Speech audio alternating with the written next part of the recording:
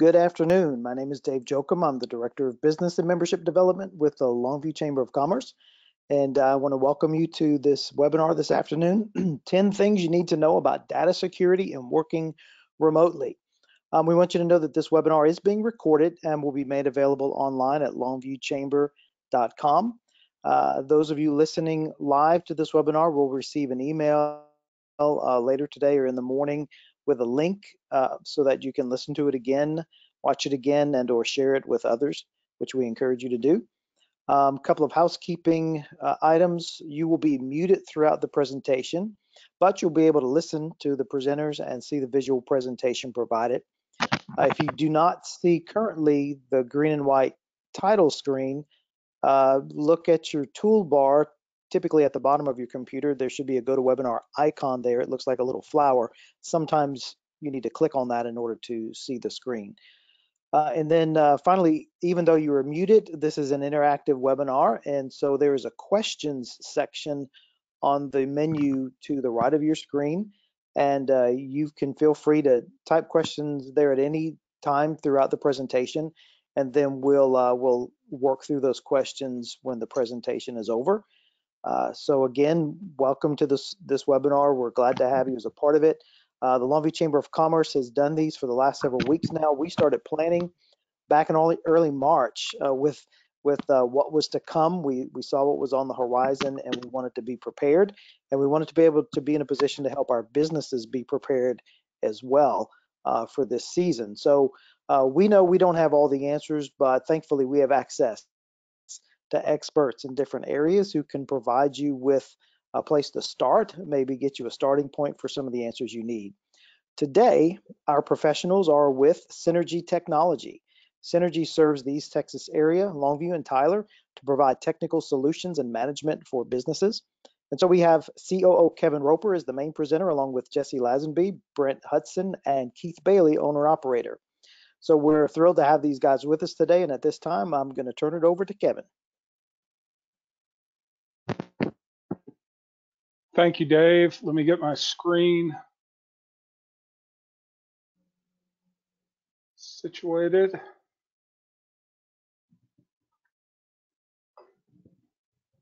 Okay, let's begin. Uh, a few housekeeping notes, if I may. Uh, first of all, great thank you to the Chamber for organizing this and giving us the opportunity to participate. Uh, knowing where to go for accurate information those of you that are, are, quite aware, there's a blizzard of opinions out there that we find ourselves in, and it can be challenging finding good information. So this is a critical community service that the chamber is providing. Also, thank you to everyone signed in today. I know it's been a crazy few weeks, uh, but one of the best things we can do for our organizations and people in them is to keep communicating. So uh, kudos to you for staying on that front line. Joining me from Cynergy are Brent Hudson and Jesse Lazenby. Both are VCIOs within our managed services group who work uh, on a daily basis with some of the most advanced and progressive organizations in the region. And both are experienced business strategists and both have extensive technology backgrounds, which will be very important during the live Q&A. Uh, they may be commenting throughout the presentation and certainly during the Q&A that follows. On a quick personal note, please remember that many in our community are confused, afraid, and hurting, especially financially. Uh, if you're weathering the storm with only minor changes, be very thankful and take a minute to reach out to people in your community that are not so lucky. Uh, if this situation is seriously impacting your business or life, please ask for help. Uh, there are many of us that just want a name and a need. Uh, everyone say an extra prayer for our nation and the rest of the world that this will pass quickly. Uh, the goal for our time is to talk about 10 things that will either be an opportunity or a potential issue to your organization, uh, both during COVID 19, but maybe, and maybe more importantly, after it's over. Uh, we want you to have some resources to know that uh, many of the things we're going to discuss are very simple things to implement. And finally, if you need help, uh, please call us at Cynergy. We've been doing this for 40 years and we can certainly be of assistance.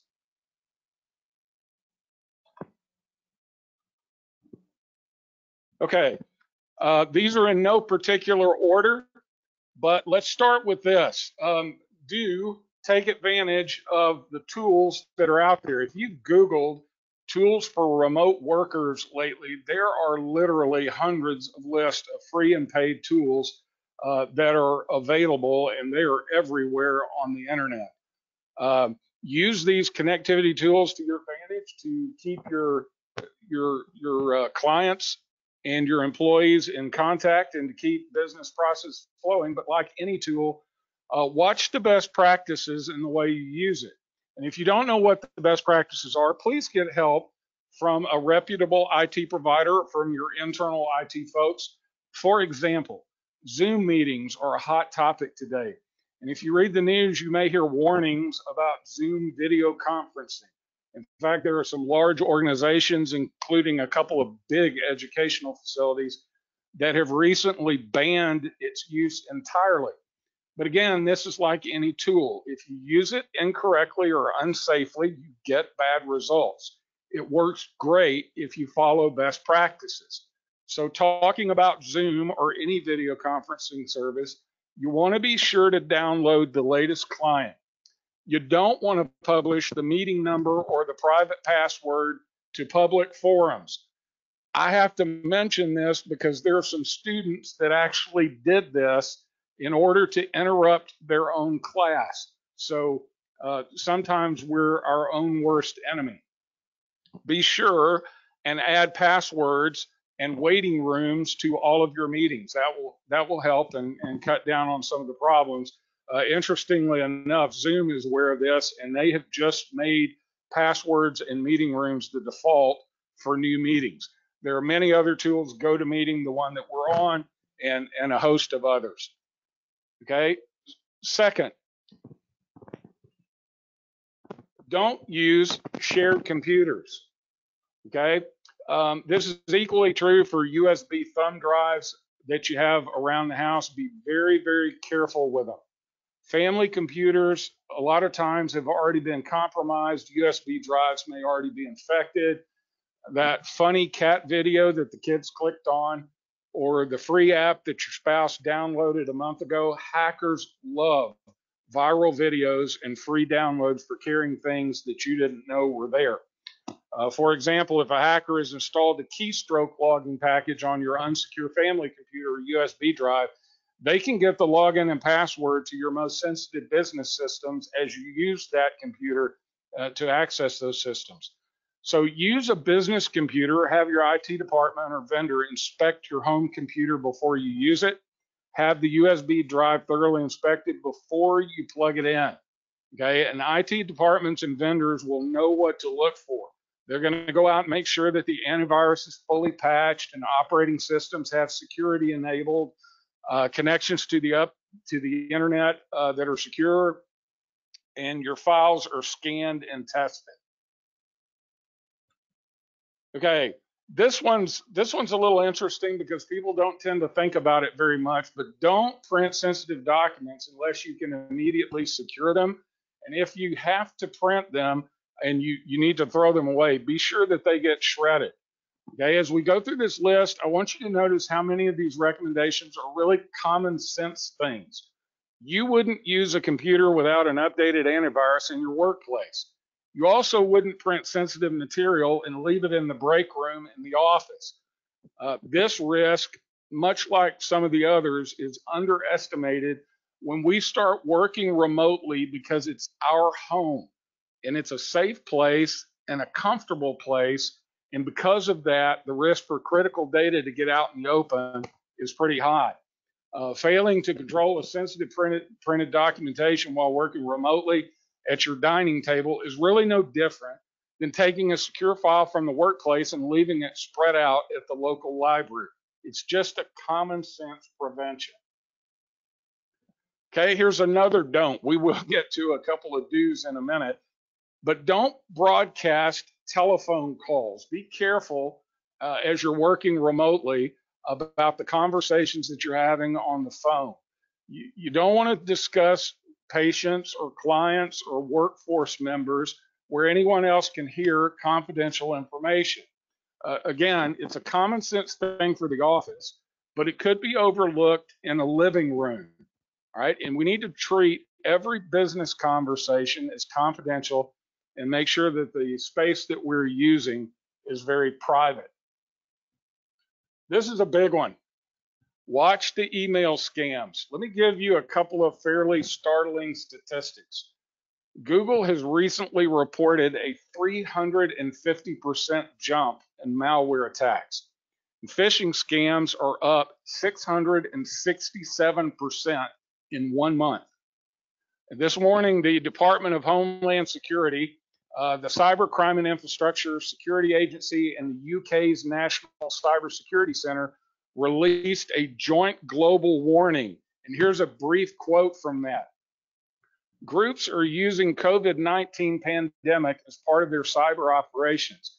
These cyber threat actors will often masquerade as trusted entities, and their activity includes using coronavirus themed phishing messages or malicious applications that may have previously been compromised.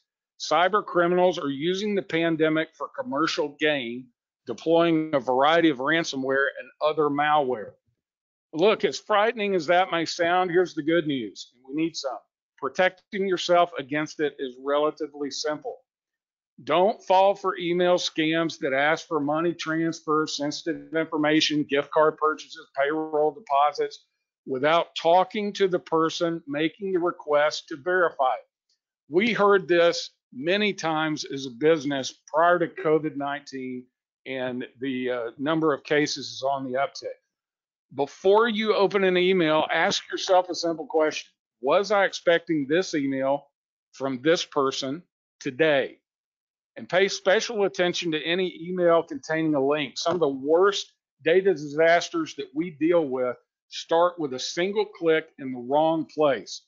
And here's a tip uh, if the email does contain a, a link, hover over it. Don't click it, just hover. Many times you'll get a small pop-up box that'll tell you what the link is going to do if you click it. And is that a place that you really want to go? Biggest piece of advice when dealing with email phishing and malware scams, slow down. Okay, we need people to concentrate and think about what they're doing uh, before they open it or before they click on it. Kevin, I would like to add a little bit extra on that slide not only in, uh, do we have to worry about work email, but since you are working at home, more often than not, that computer has access to home email, which more than likely doesn't have anywhere near the security or filtering capabilities that your work email has been uh, installed with. Good information. Okay, with those things, uh, here's a do. Be sure that you do log off your computer. Uh, we, you know, we talked about getting too comfortable at home with shared computers and phone conversation and printed material. This is another common sense practice that you should already be doing when you're in your office space. You need to do the same thing at home. If you walk away from a computer, even for a minute, which likely will turn into 10 to 20 minutes, uh, don't leave sensitive information on the screen or critical business systems open and logged in. I do full hour cybersecurity training all over the East Texas region. One of the consistent questions I get from employers and employees is this Is it okay to leave my computer on or logged in in my locked office overnight? Okay, the answer is no. Here's the problem it's the access that you didn't expect that will compromise your business. Okay, the person on the nightly cleaning crew with a key, uh, the coworker who is about to quit and would like to take key information with him or her. And here's one for the home: the child who just wanted to watch the Disney Channel and hit the wrong button. Okay, be sure that your workstation is secure if you are not on it. All right, let's talk about some security measures. We do want you to use secure connections uh, to provide end-to-end encryption of the data in transit. And this can be a VPN, stands for Virtual Private Network. Um, IT guys love acronyms, so let me make this uh, simple with a picture. Think of yourself trying to move $10 million from one place to another. uh, yes, you could put that in the back seat of your Ford and drive it to the bank, and it may or may not get there safely if someone else knows about it. Or you could put it in an armored truck that's driven by people with machine guns. Okay, VPNs add that additional security and privacy as you move mission critical data. Uh, most firewalls that are good and up to date and current uh, will have some VPN capabilities. If they're set up and tested correctly, get with your IT folks. What if I don't have a VPN?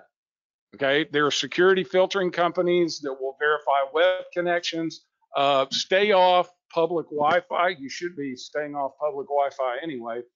And stop. I, I can't believe I need to say this, but stop using your neighbor's unsecured wireless signal.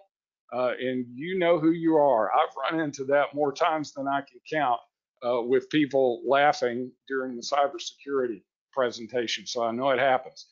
Uh, update security, security on your home network. If you're using Wi-Fi, you need to be able need to be using WPA2 encryption if you can.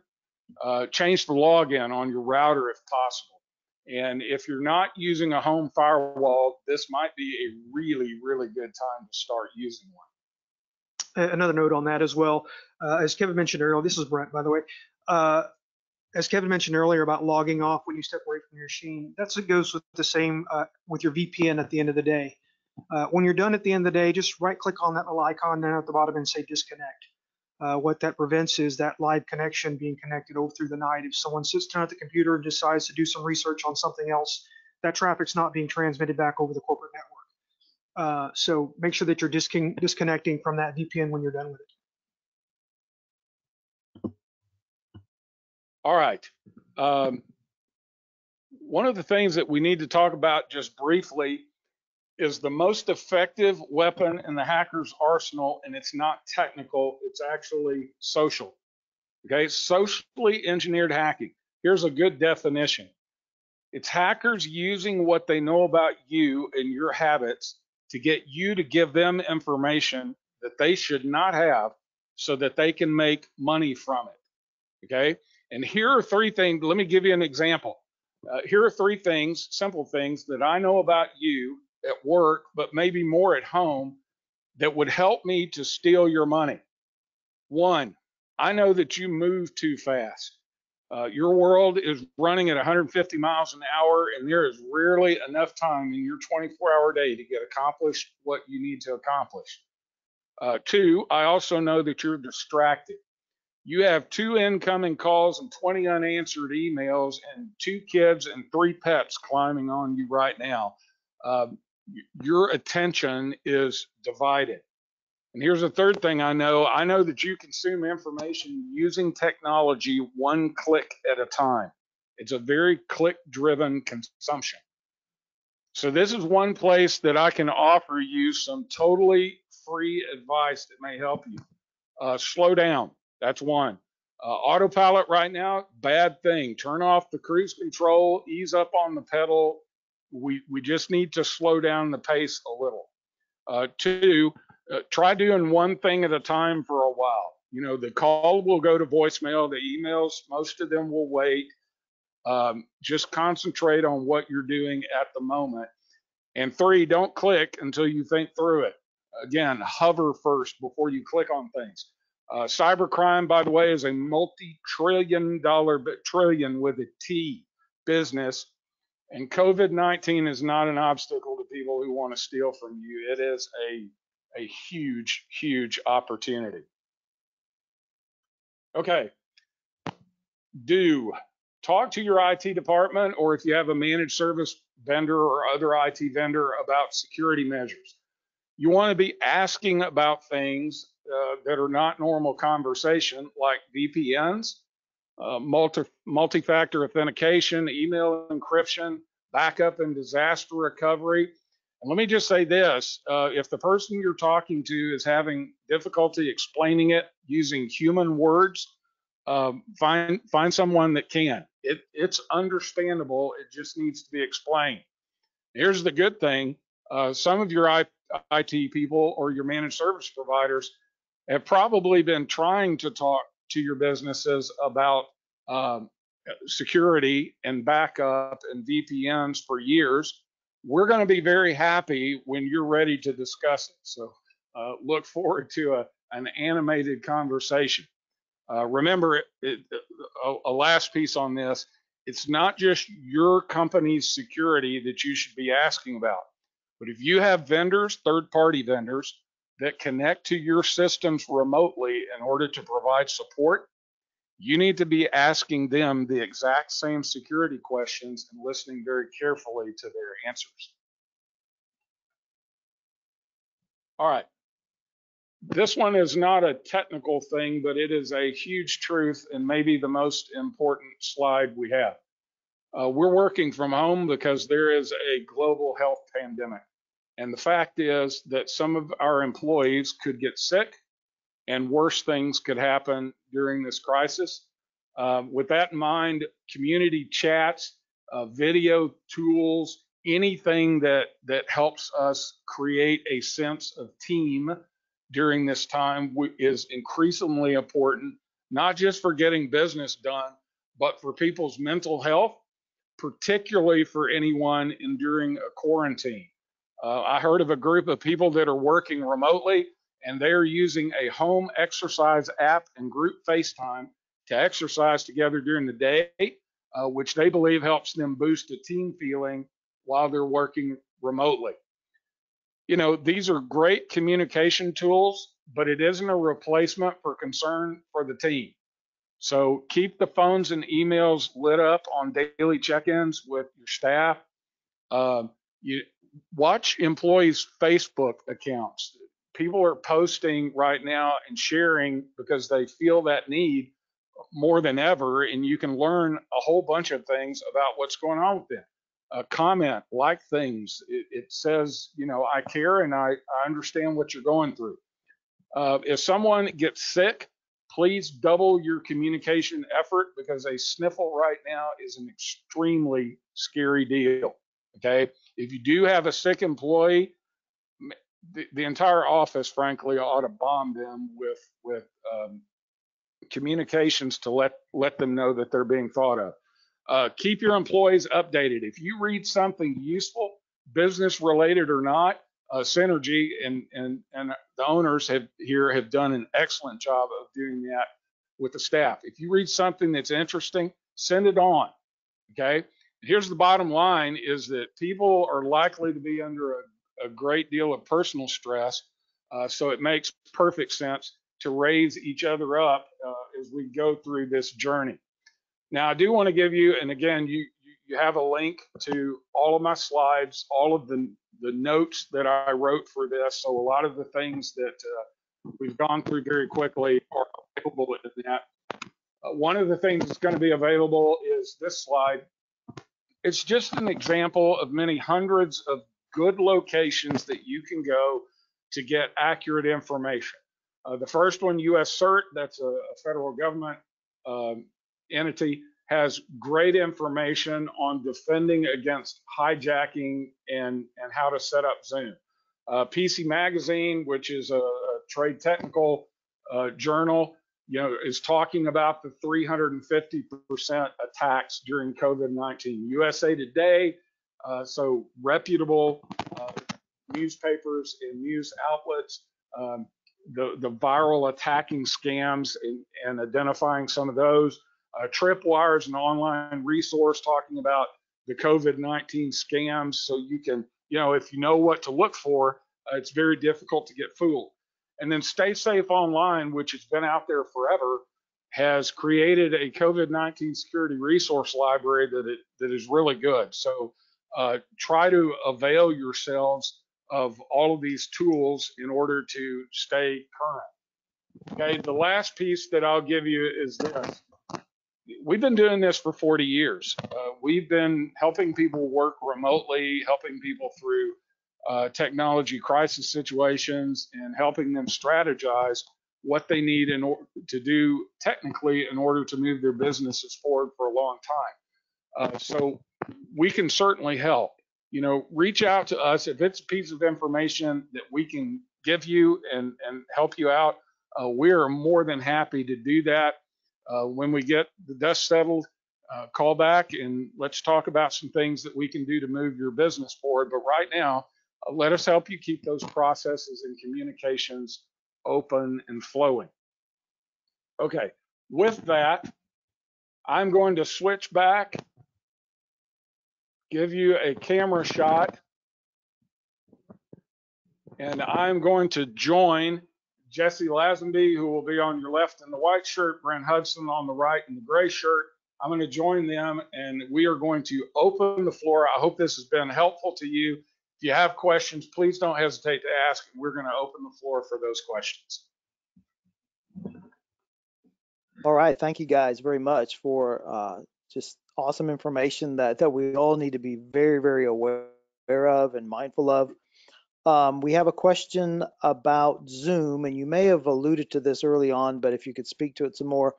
Um, Zoom in particular has had some security issues, and uh, could, could you just speak to whether or not it's a safe platform for people to be using now, or or what what should be their concerns there? Go ahead and take that. Well, certainly. Well, I think, you know, just like any other tool uh, that you're using to communicate with, whether it be email, uh, Facebook, social media, et cetera, uh, you know, you want to make sure that you're securing that connection before its use. I think the problem with with Zoom initially was the ease of use uh, to get quickly connected when you needed to. Uh, and a lot of times the, the security features that are built into that available uh, were not uh, initially turned on when the meeting was set up. So the best thing to do is when, if you are using that tool as uh, as a medium for communication, just to take that extra step when you're configuring that initial setup to enable the waiting room and uh, password settings, et cetera. I think a lot of, from what I've read, a lot of the security issues that I've run into from Zoom uh, were from uh, people using the tool incorrectly. You know, we always say uh, that, you know, never post uh, or use anything of that situation uh, open uh, in an open format like that that you're not willing to post on a billboard uh, on the North Loop in, in Longview or South Loop in Tyler. Uh, if it's not something out there that you want uh, publicly uh, communicated, then you probably need to look at securing that down using the mediums the, or the feature sets that are in there as far as securing that with, with waiting room and passwords. And a lot of those settings, you can find them in the, uh, setting up your Zoom meeting and just click on the advanced section and it can go through a lot of those different things and they're very, fairly self-explanatory and, and, and very easy to enable. Yeah, a couple of quick additions. Uh, Zoom has already enabled two of the most important, which are the meeting waiting room and I believe the use of passwords as a default. In other words, you'll have to go in and turn them off if you don't want to use those. Wouldn't recommend doing that right now. Uh, one of the interesting things from the reports that came out that Zoom was not safe, uh, which didn't get followed up until much later, they had uh, some instances of kids that were in online classrooms and the classrooms got Zoom bombed uh, by someone who was was not supposed to be there posting information they shouldn't have posted. Well, as it turns out, in many of these cases, the kids had posted in public forums the passwords and the meeting IDs in order to create a disruption and cause the class to get disrupted and then possibly canceled. So again, sometimes we're our own worst enemy and uh, the use of the tool correctly will prevent a, a large majority of these things. We use Zoom internally and we, we use it uh, every week for an all staff meeting and never have an issue, but we use the, we use the tool correctly. Good, good information. Okay, next question is, uh, is this, is Microsoft Teams a HIPAA compliant program? Not in of itself. Um, there are versions of Microsoft Office 365 that are HIPAA compliant. You'll have to make sure that your the, the type of licensing that you're using is. Now, uh, keep in mind when you when, from an internal use standpoint, it, I'm, I'm, speaking in the external uh, use uh, medium of that standpoint. So uh, internally, uh, it's as secure as, as your network is going to be from that from that standpoint. Yeah. Okay. in terms of uh, companies, organizations that use a lot of cloud type services or, you know, uh, whether it's data um, management or other things that they do through a website somewhere, are there specific issues that they need to be aware of, things they need to be looking out for for their protection? Because these are things that an employee could log on to from home um, and not directly impact the server for the organization. Right, right. So most cloud services, depending on how they're configured, the organization owns the remote server uh, and the, the provider uh, is mainly just responsible for the infrastructure itself. So it depends on how the cloud service is configured. Uh, on another note, though, it depends also on the device that you're connecting from. Uh, as Kevin alluded to earlier, if you're using a, a, shared computer that could have potential malware on it, a, key, a keyboard or keystroke logger, for example, uh, what keyloggers do basically is they keep track of key punches. So, uh, and those are configured as text files and sent out to whoever the malicious uh, attacker is. So, uh, which is usually usernames, passwords, etc. So uh, that's why we stress making sure that your antivirus is up to date, making sure that your security patches are up to date. Uh, again, just making sure that you're you're doing your due, due diligence on the system side from from that. In addition to that, you really need to pay attention to all of the above, and including the version of the browsers that you're using, whether you've got the most current up-to-date Firefox or Chrome or Opera or Internet Explorer. They are nearly multiple times a week in some instances coming out with security updates and making sure that those are applied and your browser is uh, closed and reopened so that they can actually be applied and not just downloaded and started.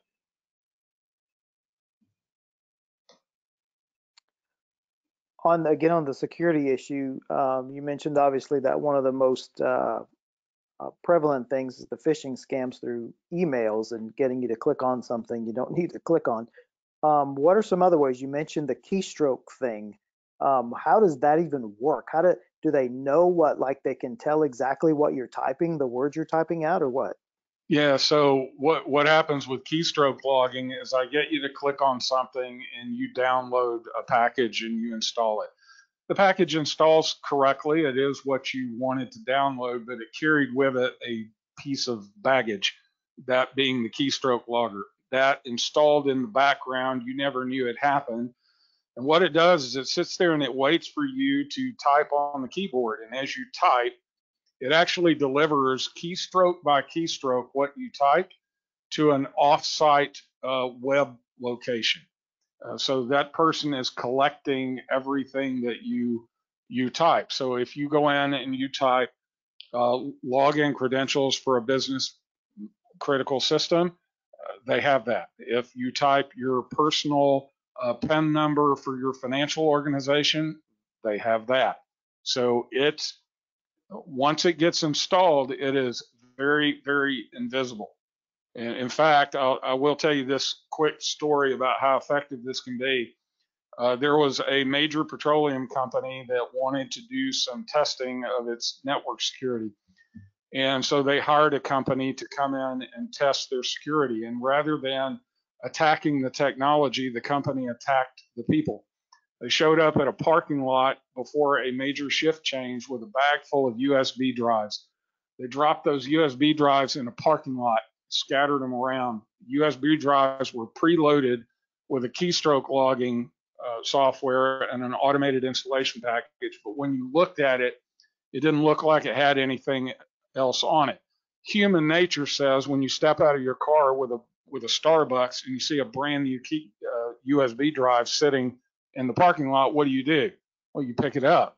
And many of them did, took it in, plugged it into the internal network, keystroke loggers automatically installed, and for three weeks, that company connected, uh, collected nearly every piece of information necessary to fully compromise almost any system on that network, including personal information, protected medical information. They collected everything. Uh, luckily for that company uh, that that was hit that way, they had hired that company. And but it, it it's not the technical attack that's so difficult, what makes phishing and malware work so well is they're using what they know about us to get us to give them information. This is why training is so important for your staff. Uh, cybersecurity training, making sure that everyone understands how these processes work and how these uh, malicious uh, actors, uh, how they, what they do and how they act um, in order to get in, because that's uh, keeping informed is the best way to keep your keep yourself and your organization safe. Uh, they they call it the human firewall. Basically, you can spend you know hundreds of thousands of dollars on technology to keep your network safe, but all it takes is one one uh, person to click on something uh, that and and let the bad guys in. So that's why it's uh, always good to be have your due diligence to make sure that you're taking care of and training your folks as well. And these are all rules that are not only apply to remote workers, but when we return back in-house. You know, these things should be followed and, and, and followed up on and, and the training uh, should be effective.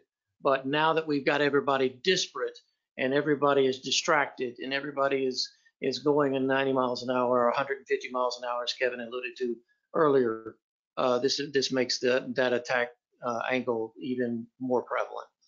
Yeah, and these guys are, are sick. Uh, uh, I'll be quite honest. Uh, they're sending out emails that basically uh, the the source of the email basically says, "Hey, we have a report that one of your family members has been infected. Please click the link below to find a, a testing center closest to you." That's all it took is just clicking on that one link, and and then their system was infected with whatever they had attached to it. So uh, if you're not sure of the source, just delete it. Pick up the phone, call whoever you think sent it. Say, hey, did you send this? Is this, you know, uh, that's the best way to uh, uh, to get around. Well, and I'll, I'll give you a prediction with the round of stimulus funding coming out and information being disseminated about checks. Uh, people that are financially strapped and worried and concerned and afraid are going to be looking for communications on their stimulus money. Wait for it. The the hackers the hackers know this is coming and they probably already prepared the attacks as soon as those things start Uh, coming that out. has already started in the Yep. UK. In fact, that uh, alert that came out from the Homeland Security this morning uh, had a screenshot of a text message uh, from the UK that looked like it came from a government entity uh, that said, you know, stimulus money is coming. Uh, click on the link below to find when it's coming in your area. And the link infected malware on the phone, uh, basically uh, uh, stealing contacts and everything else off of it. So uh, if you're not sure of the source, you're better off just deleting it. Okay. How how often do you recommend cybersecurity training for a team? As, as I mean, how frequent should it be? as- Well, and Go ahead, Brent. I think from a training standpoint, it, it's not a situation where you, you have to get everyone in a room Right. all at the same time. Uh, there are tools out there that you can schedule training on a case by case basis and say, hey, I need you to go watch these online videos, these source, you know, training, uh, and you've got three weeks to get it done. Okay, and that way uh, they can do it in their downtime. They can go through and do that whenever, and you can schedule that out either quarterly, monthly, however you need to. Uh, it's also a good idea to perform regular phishing tests. And when I say phishing test, I'm sending a an email from a trusted source that prompts them to click on something. And when they do click on it, then immediate training and feedback says, okay, you shouldn't have clicked on this, and here's why. So you're training your staff on how to look at an email and determine where uh, if it's valid, uh, you know, how to hover over links, look at the email address where it came from. I know it says Brent Hudson, but the email address is not really his. So mm, I don't, I'm not sure if that really came from him. And, and just going through and looking at that and, and doing that ongoing training on a regular basis to keep everyone up to speed is the best method. Because if you do it annually, they're going to forget it within the first week.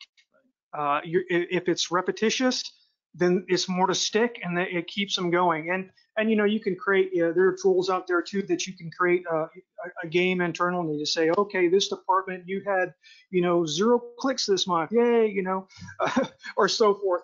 Uh, you can do it that way too. So from a training standpoint, it's really better to have an ongoing process of training uh, and, and and keep it in front of them uh, because that's really the only way that uh, they're going to uh, maintain it and retain it. Good. So, so that, that sounds like it's just a matter of we need frequent re- reminders. So it can't be a one and done. Oh, we did that a year and a half ago, so we're Right. good. Yeah. Right. And it's, a s and it's the same with your, with, with your internal documentation. You know, if you do have a cybersecurity policy internally, uh, review that on a monthly, quarterly basis with your, with your leadership, making sure that it's still up to date.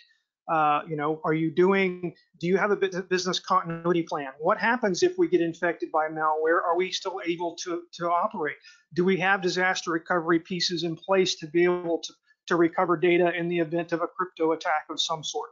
Uh, these are things that you need to be outlining ahead of time. It's a lot easier to outline a process and be ready than having to wait until it happens and then trying to figure out do we have everything we need? This should be an ongoing conversation, at least on a quarterly basis, from your leadership uh, uh, group, just making sure that you have everything you need in place. And that includes not only just the IT functions, but that includes how are we going to switch over phones? Who's going to man those? Where are we going to set up? You know, what kind of other processes that we need to have from, you know, uh, you know, manual internal procedures to, to, you know, just continuity. Who's going to make announcements of where those changes? Who needs to be informed? So it's much further and more broad reaching than just the IT and getting systems back online. yeah, this is business continuity as a whole. Uh, you know, do I have the critical forms that I need to continue to operate? Do I have printed copies?